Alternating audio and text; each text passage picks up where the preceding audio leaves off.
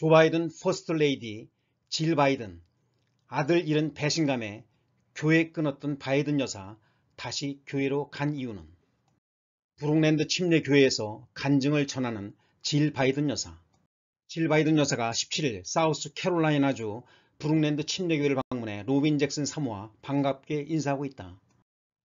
아들 잃은 배신감에 교회 끊었다던 바이든 여사 다시 가게 된 이유 미 바이든 여사 아들 잃고 교회 끊었다 신앙 되찾아준 은인 깜짝 방문.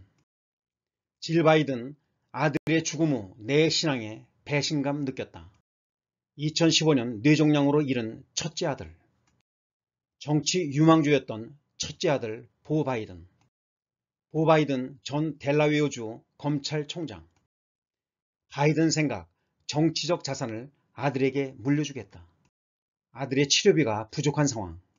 결국 집을 담보로 빚을 내려던 순간 오바마 왈 내가 치료비를 마련해 주겠다. 결국 보 바이든 장례식 추도사를 맡은 오바마 바이든 부통령을 위로하는 오바마 전 대통령 오바마 임기 끝 무렵 바이든에게 자유의 메달 수여 미 대통령의 최고 권위 훈장 자유의 메달 대통령으로서 마지막으로 미국의 최고 시민상인 대통령 자유의 메달을 수여하게 되어 기쁘게 생각합니다. 눈물을 흘리는 조 바이든. 정치 인생의 조력자이자 친구 버락 오바마와 조 바이든. 브룩랜드 침례교회에서 간증을 전하는 질 바이든 여사. 미국 퍼스트 레이디 질 바이든 여사가 지난 2015년 뇌암으로 의붓 아들인 보 바이든이 사망하기 전 하나님께서 마지막 간절한 기도에 응답하지 않으셨을 때 배신 당한 것 같은 느낌에 기도조차 할 수 없었다라고 밝혔습니다. 미국 크리스천 포스트에 따르면 질 바이든 여사는 최근 사우스 캐롤라이나주 콜롬비아에 소재한 브룩랜드 침례교회를 방문했는데요. 바이든 여사는 이날 이 교회 찰스 잭슨 목사의 공직 50주년을 기념하기 위해 예고 없이 방문한 것으로 알려졌는데요. 바이든 여사는 페이스북 라이브를 통해 회중에게 연설을 전했으며 그녀는 신앙은 10대 시절부터 삶에서 중요한 요소였다고 말했습니다. 바이든 여사는 지금까지 신앙을 공개한 바 없는데요. 그녀는 신앙은 항상 제가 누구인지에 있어 중요한 부분이었다라며 10대 시절 조용한 나무 의자의 평화로움, 이곳에 있는 이 장엄한 성가대의 기쁨, 복음의 깊은 지혜에 사랑에 빠졌을 때 선택했다. 기도는 특히 내가 사랑하는 사람들과 나를 둘러싼 세상과 연결했다. 하지만 지난 2015년 내 믿음이 흔들렸다라고 했습니다.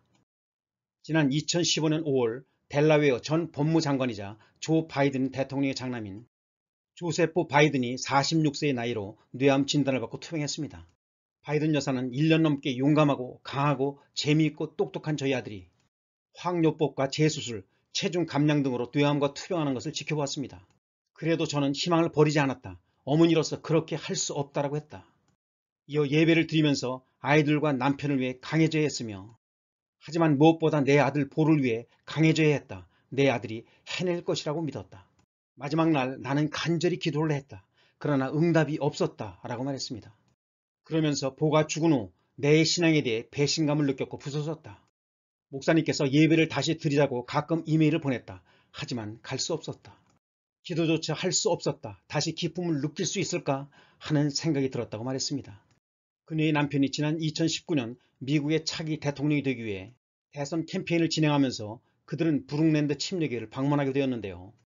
그때 바이든 여사는 하나님께서 그녀에게 말씀하시는 것처럼 느껴졌다고 합니다. 바이든 여사는 2019년 여름 많은 분들이 기억하실 것이다. 저는 여기 브루클린 침례교회에 예배를 드리기 위해 왔다. 그리고 그날 아침에는 뭔가 다른 느낌이 들었다라고 말했습니다. 2019년 그날 예배 중 바이든 여사 옆에 잭슨 목사 사모인 로빈 잭슨이 앉아 그녀의 기도 파트너가 되겠다고 제안을 했다고 합니다. 바이든 여사는 그리고 그녀의 섬김에 얼마나 감동받았는지 모른다. 그녀가 여전히 내 미소 뒤에 감춰져 있는 슬픔을 볼 수 있었는지 모르겠다. 하지만 그녀가 말했을 때 나는 알았다.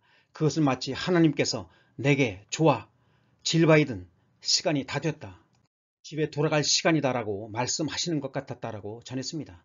바이든 여사는 이날 히브리서 4장 16절과 마태복음 19장 26절을 인용했는데요. 그녀는 그때 처음으로 믿음을 회복하는 길이 있음을 느꼈다. 히브리서에는 그러므로 우리는 긍휼하심을 받고 때를 따라 돕는 은혜를 얻기 위하여 은혜의 보좌 앞에 담대히 나아갈 것이니라 라고 기록됐다. 그러나 하나님과 함께라면 모든 것이 가능하다 라고 말했습니다. 이어 로빈 사모의 친절함, 자비와 은혜는 내 마음의 굳은 살을 밀어냈다. 그리고 겨자씨처럼 내 믿음은 다시 한번 자랄 수 있었다. 그것은 선거운동의 길고 힘든 날들 가운데 내게 위로를 주었다라며 낯선 사람들이 서로를 위해 희생할 수 있음을 보고 기쁨을 느꼈다고 회상했습니다. 바이든 여사는 전염병으로 뿔뿔이 흩어진 가족, 인종차별과 차별의 악과 씨름하는 지역사회와 이 나라는 치유가 필요하다. 이 나라는 희망을 찾고 있다. 이 교회가 내 인생을 바꿨다. 그리고 백악관으로 가는 여정에 도움이 되었다라고 말했습니다. 조 바이든의 슬픈 가족사 현 미국 대통령 조 바이든의 인생살이를 보면 눈물 없이는 못 보는 것 같습니다. 가톨릭 신자인 조 바이든은 4명의 자식이 있었는데 그 중 2명의 자식은 하늘나라에 있고 한 명은 마약으로 많은 트러블을 내는 그런 아픈 가족사를 가지고 있었습니다. 조 바이든의 첫 부인은 닐리아 혼토 바이든입니다. 바이든 대통령은 최연소 상원 의원이 되면서 탄탄대로를 간다 싶더니 엄청난 슬픈 가족사를 겪게 됩니다. 그의 첫째 부인은 자신의 막내딸 나오미 바이든이 한 살밖에 되지 않았던 당시 함께 교통사고로 바이든 가족의 곁을 떠났습니다. 또한 조 바이든의 첫째 아들은 뇌종양으로 2015년 46세의 젊은 나이로 세상을 떠났습니다. 인간 쓰레기 헌터 바이든 형 보 바이든 사망 하지만 조 바이든의 차남 로버트 헌터 바이든은 형을 잃은 것도 잠시 엄청난 사고를 치고 맙니다. 2015년에 본처와 결별하던 와중에 미망인이던 형수 할리 바이든과 연애를 하여 논란이 되었는데요. 이 쓰레기 같은 불륜은 결별로 끝이 났습니다. 뿐만 아니라 워싱턴 DC에 있는 스트리퍼 사이에서 아기까지 나왔습니다. 헌터 바이든으로 인해 아버지 조 바이든의 대통령 선거 운동 중 많은 비난을 받았는데요. 그의 책에서는 그가 그동안 알코올과 마약 중독으로 그의 일상에 미친 영향, 그리고 그의 형수와 사랑에 빠진 이유 등 그는 자신의 행동에 대한 변명보다는 군중 속의 위로움을 표현했다고 합니다. 2019년 이후 정치계에서 떠난 그는 현재 두 번째 부인과 결혼해 LA에서 거주하고 있다고 합니다. 송승헌의 전 연인이었던 뉴욕비랑도 스캔들이 났었던 헌터 바이든 스캔들이 세계적이네요. 오늘의 양식 호세아 6장 1절 오라 우리가 여호와께로 돌아가자 여호와께서 우리를 찢으셨으나 도로 낮게 하실 것이요 우리를 치셨으나 싸며 주실 것입니다. 혹시 교회를 떠나신 분들이 계신가요? 지금 주님께로 돌아오십시오. 그리고 가까운 정통교회로 나가세요. 주님께서 사랑으로 품어주실 것입니다. 지금까지 시청해 주셔서 진심으로 감사드립니다. 크리스찬 튜브였습니다.